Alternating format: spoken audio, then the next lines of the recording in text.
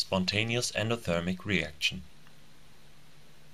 Attention! Barium hydroxide is toxic and causes severe chemical burns on the skin and eyes. Ammonia is toxic when inhaled, causes chemical burns on the skin, eyes and lungs, and is very toxic to aquatic life. Barium chloride is very toxic. I don't take any responsibility for damage done to persons or property caused by the recreation of this experiment. For this experiment a 50 ml beaker is placed on a piece of wood. A thermometer is hanging into the beaker which is held by a ring stand. Some water is put on the wood under the beaker.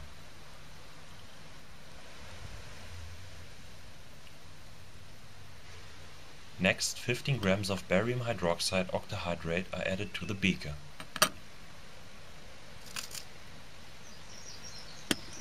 On top of the barium hydroxide 5.1 grams of ammonium chloride are added.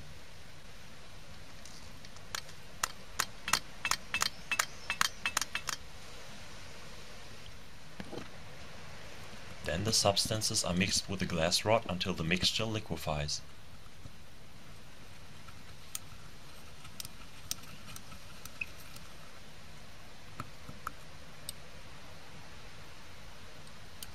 The thermometer is then held into the mixture.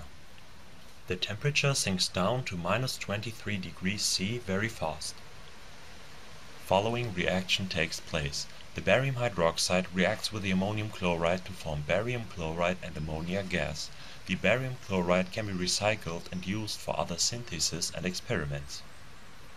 Instead of the ammonium chloride 7.3 grams of ammonium thiocyanate or 7.7 grams of ammonium nitrate can also be used, which causes less toxic barium salts to form.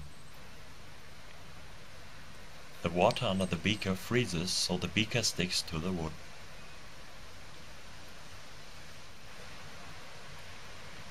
A wet pH paper can be used to test for ammonia gas.